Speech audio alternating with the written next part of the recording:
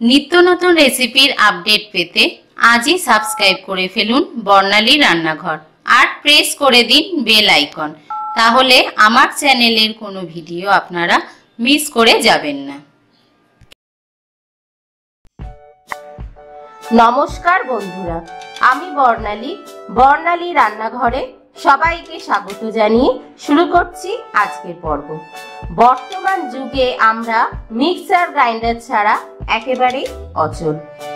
অনেকে বলেন মিক্সার গ্রাইন্ডারে নাকি সর্ষে বাটা যায় না। আবার অনেকে বলেন মিক্সার গ্রাইন্ডারে সর্ষে বাটলে নাকি তেতো হয়ে যাচ্ছে। তাই কীভাবে মিক্সার গ্রাইন্ডারে ভালোভাবে সর্ষে বাটবেন আর তেতেও হবে না, সেটাই আজকের আমি দেখাচ্ছি। চলুন তাহলে দেখে নিন ভিডিওটি। মিক্সার গ্রাইন্ডারে সর্ষে বাটার জন্য দু টেবিল স্পুন আমি কালো সর্ষে নিয়েছি। তবে আপনারা যদি চান শুধু কালো সর্ষে না নিয়ে সাদা সর্ষে আর কালো সর্ষে দুটোকে মিশিয়ে নিতে পারেন। তবে আমি শুধু কালো সর্ষে দিয়েই দেখাচ্ছি। হাফ চা চামচ পোস্ত দানা নিয়েছি। তবে এটা অপশনাল এটা দিতে হবে এমন কোনো কথা নেই। সামান্য একটু নুন লাগছে আর দুটো কাঁচা লঙ্কা আমি ভেঙে নিয়েছি আর একটু জল লাগছে। এবার একটা মিক্সার গ্রাইন্ডার নিয়েছি। এবার এর মধ্যে সর্ষেটা দিয়ে দিলাম,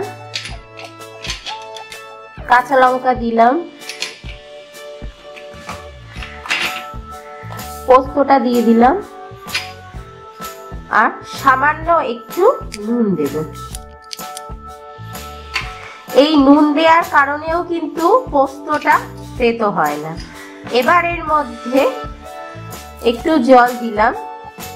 প্রায় তিন টেবিল স্পুনের মতো কেননা আমার সর্ষেটা আগে থেকে ভেজানো ছিল না, তাই একটু বেশি পরিমাণে জল দিলাম। এবার এটা মিক্সিতে বেটে নিতে হবে প্রায় এইটি পার্সেন্ট প্রথমবারেই চেষ্টা করবেন যে সর্ষের একটাও দানা যেন আস্ত না থাকে। কেননা প্রথমে যদি কিছু দানা আস্ত থাকে, পরে যদি আমরা আবার কাটি সেটাকে, তাহলে সেটা তেতো হয়ে যায়। তাই প্রথমবারেই আমরা এইটি পার্সেন্ট মতো পোস্তটাকে ভালোভাবে পোস্ত আর সর্ষেটা যেটা মিশিয়েছিলাম, সেটা ভালোভাবে বেটে নিচ্ছি। এক মিনিট এটা হাই স্পিডে ঘুরিয়ে নিয়েছি। আর দেখুন, একবারেই কিন্তু সমস্ত সর্ষেটা পেস্ট হয়ে গেছে। এবার এই অবস্থাতেই আপনারা রান্নায় ব্যবহার করতে পারেন, কিন্তু আমি আরেকটু স্মুথ পেস্ট চাই আমি। তাই এর মধ্যে আরেকটু জল দিয়ে দিলাম। এবার তিরিশ সেকেন্ডের জন্য আরেকটু ঘুরিয়ে নেব।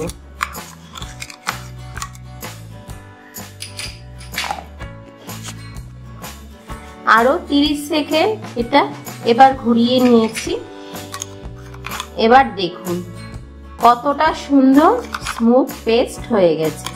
আর এটা এই অবস্থায় আপনারা মুখে দিয়ে টেস্ট করলে দেখতে পাবেন, একটুও তেতো হয়নি।